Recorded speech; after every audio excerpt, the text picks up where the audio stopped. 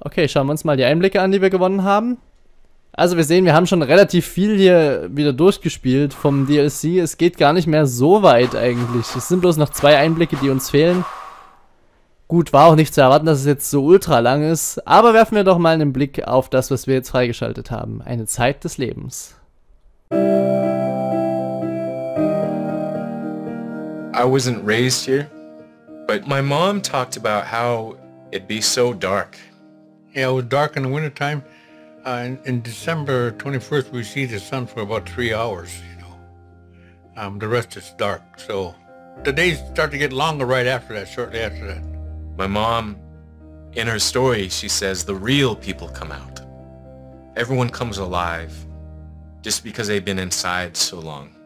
I'm almost happy to own Springs here because the caribou are migrating north. Uh, the bears are coming out of hibernation. Uh, rabbits and stuff, they're all all over the place. And they're not hiding under the snow anymore. You know, like the elders used to tell me, um, as soon as they saw those snow buntings, the small birds, the new season would start for gathering food. They knew they'd be happy because uh, fresh food is starting to come around.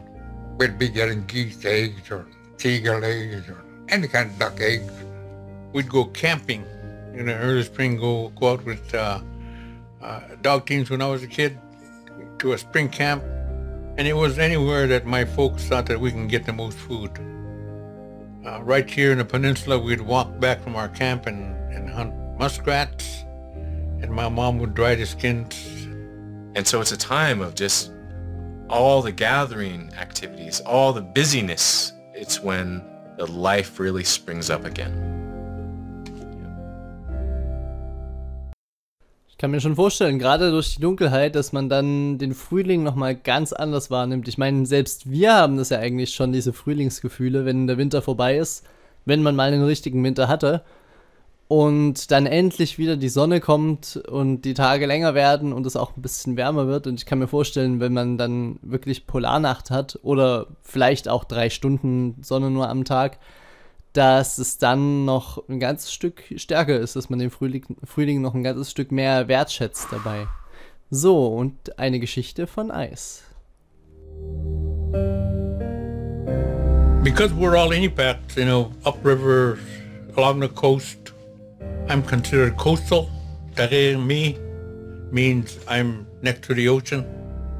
Kum me is up the river. And I'm proud to be a Tare me because I can hunt out there where those guys can't. I was taught to be aware of all the conditions out there. In fact, uh, a friend of mine, an elder, he's passed away since. One year he came down, he had a small boat just as the ice was going. He followed the ice down from, from Cayenne, okay? And he was he came down, he says, Willie, I come down just to go see how you guys hunt. Let's go. I said, okay. I got my boat ready and we took off.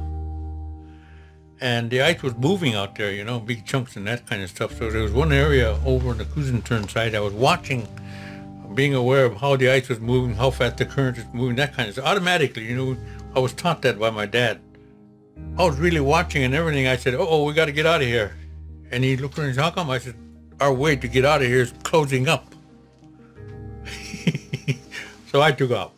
And he was right behind me. I went through okay, and then he went through, and he said he looked back after we went through, and the ice came up. It came together and came up like that. And he shook his head when we came back, and he said, I will never question the price of seed oil again. I see the danger you guys go through. If you don't know what you're doing, bad things can happen to you out there. Yeah. That's a great story. But it's the truth, you know. Yeah. What I what I what I went through. Tja, selbst innerhalb der Inupiat gibt es natürlich die verschiedensten Wege zu jagen und zu leben. Und klar, man nimmt es dann wahrscheinlich auch gar nicht so wahr, wie viel Wissen man eigentlich hat, wie viel Spezialwissen über ein bestimmtes Thema, weil man einfach hineinwächst und es einfach mehr Erfahrungsschatz ist als äh, jetzt gelerntes Wissen. Also bewusst gelerntes Wissen. Und das sind dann eigentlich so viele Dinge, auf die man wahrscheinlich automatisch achtet, dass man es einfach überhaupt nicht mehr wahrnimmt und äh, das dadurch gar nicht erstmal so wertzuschätzen weiß. gilt garantiert auch für uns hier in der normalen Zivilisation, in irgendwelchen Dingen, in denen man gut ist. Man nimmt es wahrscheinlich gar nicht wahr, warum man gut ist in den Dingen, einfach weil es so automatisch passiert, dass man bestimmte Denkmuster, bestimmte Abläufe vollzieht und erst wenn man mal von anderen darauf hingewiesen wird, äh, kann man das dann überhaupt wertschätzen. Also eigentlich ist es auch das ist auch ein Grund, warum es eigentlich gut ist, wenn man viel mit anderen teilt, weil man dann auch se seine eigenen Fähigkeiten wertzuschätzen lernt, wertzuschätzen weiß. Also Reisen in andere Gegenden muss nicht nur zwangsweise dazu da sein, um was über die anderen zu lernen, sondern manchmal kann man dann auch was über sich selbst lernen dabei. So, lasst uns mal weitermachen. Die große Maus, die große Maus. Schauen wir uns uns an, was es denn mit der auf sich hat. Liannarik timahuting tari rormin. Ilitsurip luting asin do tampangan eh. Achso, ich bin schon wieder dran. Na gut.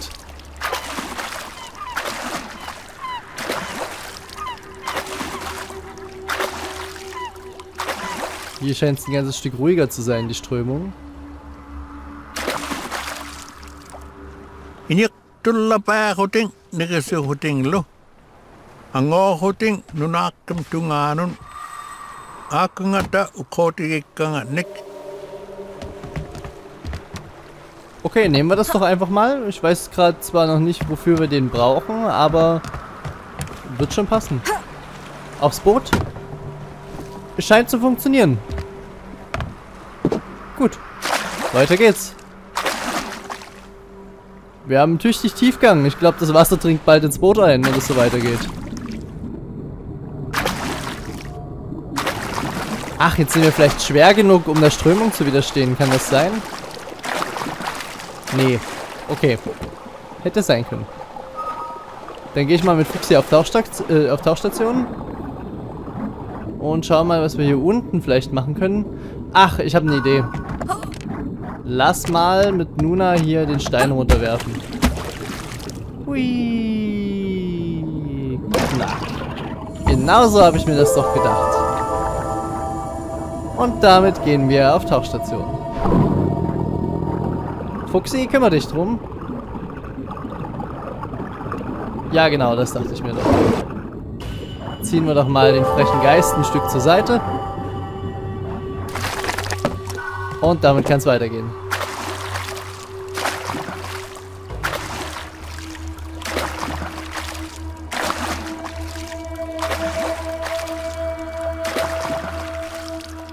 Ein totes und äh, verlassenes Dorf.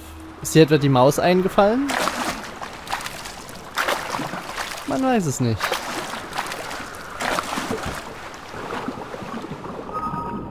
So, wieder mal mit Luna am Start.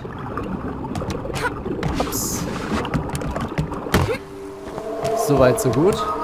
Nein, ich will schon bei Nuna bleiben.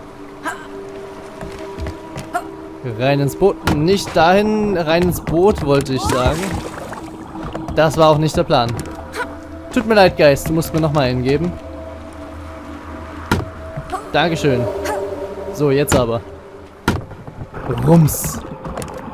Mitten rein ins Boot. Ich weiß nicht, ob das so gut ist für das Boot. Ups. Etwas daneben gehüpft. Ach so, Moment. Wir müssen schon wieder basteln hier.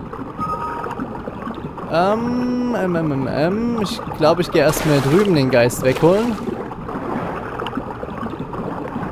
So, Fuchsi, zieh den mal hoch. Ah, ja, genau. Ich sehe schon, ich sehe schon. So, dann nehmen wir den Stein und schmeißen den einfach mal in die Strömung. Oder auch nicht. Okay. Ich dachte, dass es ihn vielleicht mittreiben würde, mitten in die anderen Eisblöcke rein. Aber das hat dann leider nicht so geklappt, wie ich mir das gedacht habe. Können wir aber vielleicht... Ah, Mist. Vielleicht müssen wir das Boot ein Stück zur Seite ziehen, das kann sein.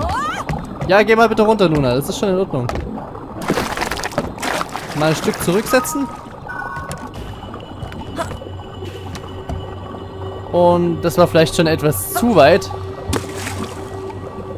Nee, das ist sinnlos. Äh, nochmal. Kurz anhalten. Ich will eigentlich gar nicht so weit hier. Das ist ein bisschen mit Maßarbeit verbunden. Kleines bisschen zurücksetzen, sodass ich hier direkt dran vorbei werfen kann. Aber schon noch so, dass ich dann hier noch hochkomme. Das ist das Problem. So, könnte funktionieren. Mann, ich nehme mal die falsche Taste. Ah, die wirft das zu weit. Also der Plan ist eigentlich unten die Eisblöcke zu zerstören mit dem anderen Eisblock hier wieder. Nur stelle ich mich momentan... Ah, gar nicht so weit weg. Ich würde gerne mit Fuxi das Ding hier verschieben, das wäre cool. Nur stelle ich mich momentan halt noch relativ dumm an dabei. Okay, wir machen es mal anders. Wir werfen erstmal aufs Boot drauf hier. Nein, wir werfen nicht aufs Boot drauf, wir werfen drüber hinaus. Ähm, ich kann natürlich auch versuchen, noch ein Stück weiter zurückzusetzen. Oh, nee, da bleibt sie an der Kante hängen. Das ist ja... Ah, ist das shitty. Kriegst du das hin? Nee, kriegt sie nicht. Also mit Schwung vom Boot springen klappt nicht. Dann müssen wir es anders machen. Mann, Mann, Mann, Mann, Mann. Ich wechsle immer die Charaktere auszusehen. So, dann werfen wir es erstmal aufs Boot drauf und dann müssen wir halt vom Boot aus nach unten werfen. Ach komm schon. Jetzt stell dich mal nicht so an hier. Ja, gib her. Der Geist hat ganz schön schwer Arbeit zu leisten hier mit uns. Geht doch. So hatte ich mir das doch eher gedacht, jetzt hier mit dem Werfen. So, nicht so weit, nicht so weit, nicht so weit, nicht so weit. Stück zurück. Ach, ich kann das so schlecht einschätzen, wie weit ich jetzt muss. Hm. Nimm schon mal. Das könnte bald passen, oder? Na! Ja! Sehr gut. Jetzt ist Fuchsi wieder dran. Huh, war das eine schwere Geburt. Mann, Mann, Mann, Mann, Mann. Fuchsi, den nach unten. Und wieder zurück aufs Boot. Und weiter geht die wilde Reise.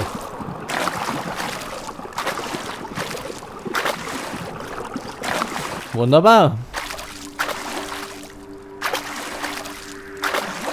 Ilan na rek iglak senyak tuk argot mon no tam kungani. Ismaluk senyak hoting. Warum das? Worüber genau? Ich dachte mir fast gerade. Sorry.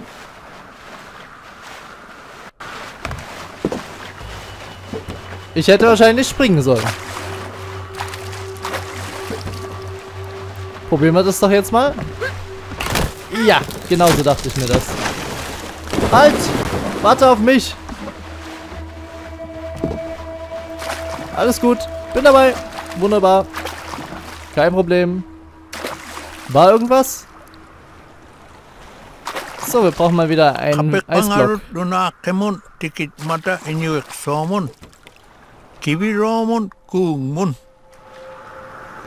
So, können wir unten schon irgendwas machen? Ich glaube nicht, ne? Glaube, momentan würde es noch nichts bringen, mit Fuchsi unten reinzuspringen. Ah, bin zu weit weg. So, jetzt aber. Genau, wir brauchen erstmal hier oben wieder einen Eisblock. Jetzt treibt mir das Boot natürlich so weit weg. Scheiße. Ah, schrecklich. Mach nochmal zurück hier bitte. Nee, nicht so stark. Das ist gar nicht so einfach, das richtig abzuschätzen, wie stark man hier jetzt die Taste drücken muss um das Boot genau in die Position zu bringen, in der man es braucht. Ups. Aber jetzt sollte es eigentlich ins Boot reinfallen, oder? Jawohl. Sehr gut, sehr gut. Ups. So, jetzt müssen wir bloß noch schauen, wo wir anfangen. Ich würde sagen, hier drüben bei den Eisblöcken. Sollte schon passen vom Schwung her. Nimm schon mal den Achso, das ist gar nicht der Eisblock, das war Fuchsi.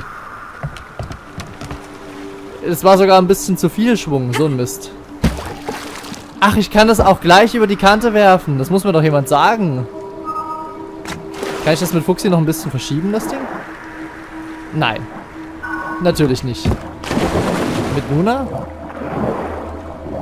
Auch nicht. Schade, jetzt liegt es halt sinnlos in der Gegend rum, ne? Ich hoffe, du ertrinkst nicht, Kleiner. Nee, er trinkt nicht, aber er steckt fest. Ah, jetzt geht's wieder. Süß, wie er sich das zottliche Fell ausstrubbelt. Okay, das ist jetzt natürlich ein bisschen doof. Und ich weiß auch nicht, ob wir jetzt noch einen zweiten kriegen. Ich hoffe doch. Schauen wir einfach mal. Wie sieht's aus, Kollege? Sponsorst du mir noch einen? Nicht? Das finde ich ungehörig. Das ist gar nicht mal so okay. Scheiße. ja komm, geh runter. Passt schon. Ähm, was mache ich da denn jetzt? Das ist jetzt irgendwie ein bisschen ungünstig. Ist das so... Huch. Blöde Einrastfunktion. Ist das so gewollt eigentlich jetzt? Jetzt komme ich nicht mehr ins Spiel zurück gerade. Na toll. Was ist denn das für ein Mist hier? Das ist super, weil die Taste ja die Umschalttaste ist, mit der man reingreifen muss. Und äh, wenn man sie zu oft drückt, kommt die Einrastfunktion. Ich muss, glaube ich, mal kurz unterbrechen und nochmal neu das Spiel starten. Ich komme nicht mehr rein gerade. Also bis gleich. Okay, weiter geht's. Äh, ja, wie gesagt, ich musste das Spiel nochmal neu starten, weil ich nicht mehr reingekommen bin.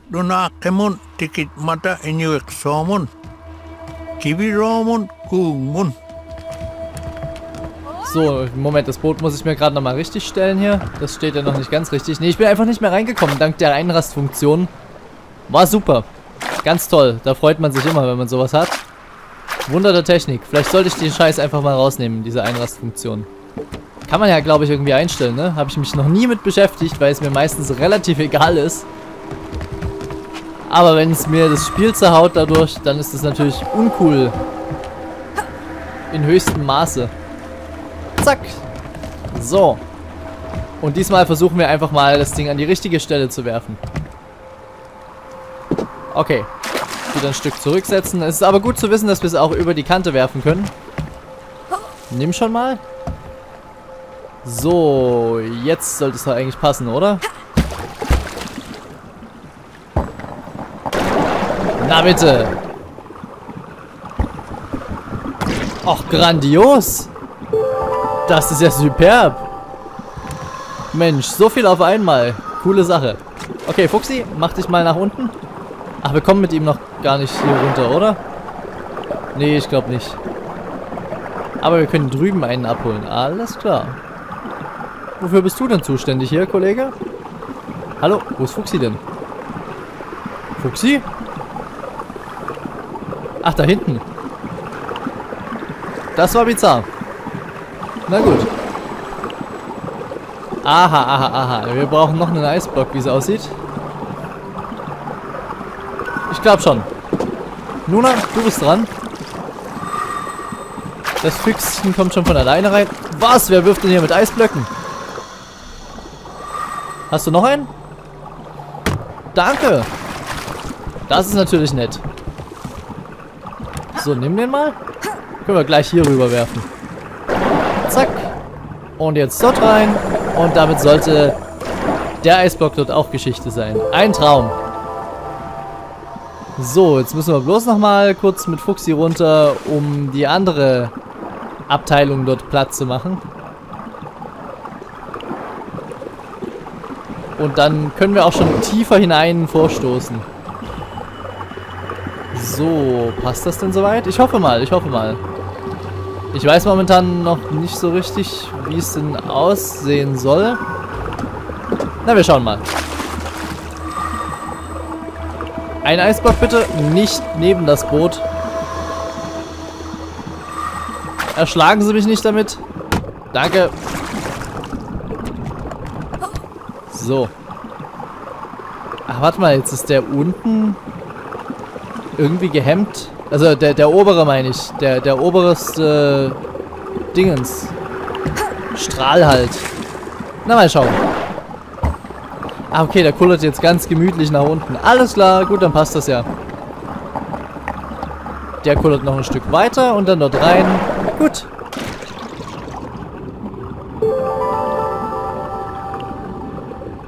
Okay, auf in die Tiefen. Kommst du, Nuna?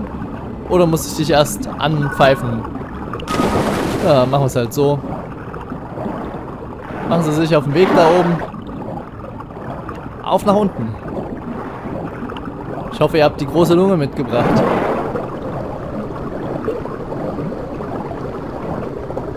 So, was haben wir denn hier? Oh nein. Na, großartig. Ich hoffe mal, es geht so. Ach du Schande. War das die Maus? Ich wollte ja jetzt noch nicht begegnen, muss ich zugeben. Hier ist aber irgendwie auch Feierabend hier hinten. Was jetzt? Ich weiß es nicht, ehrlich gesagt. Wir schwimmen einfach mal wieder zurück. Vielleicht müssen wir ja noch weiter nach unten. Ja, ich glaube schon.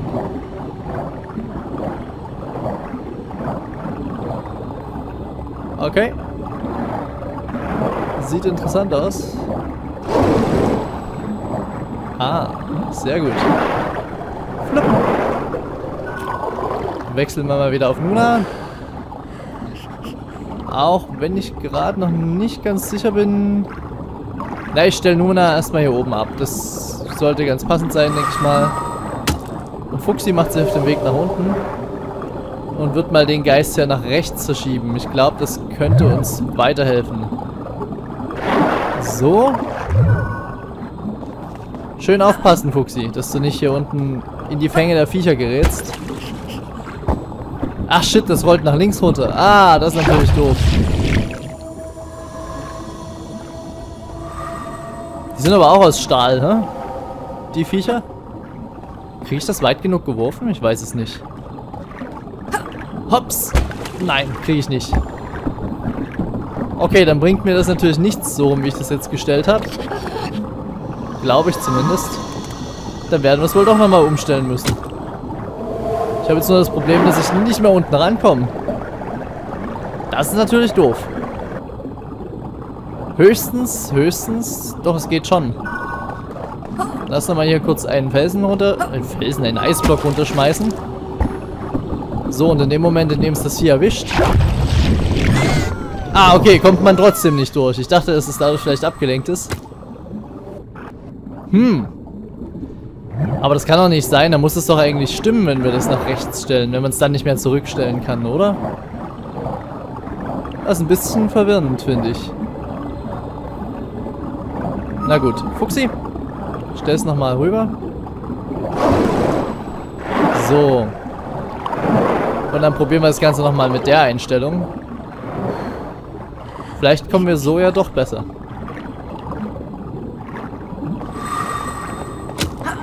Her mit dem Eisblock. Und rein ins Wasser. Kann es sein, dass wir... Ach du Schande. Ich habe die Befürchtung, dass wir jetzt eine Timing-Aufgabe haben hier. Oh je, wie soll ich denn das hinkriegen? Na gut, äh, na das kann toll werden. Und jetzt den hier rüber. Komm, komm, komm, komm, komm. Schneller. Jawohl, so habe ich mir das gedacht. Und so funktioniert das auch. Wunderbar. Wir wechseln wieder auf Nuna und können unseren Weg fortsetzen. Läuft doch.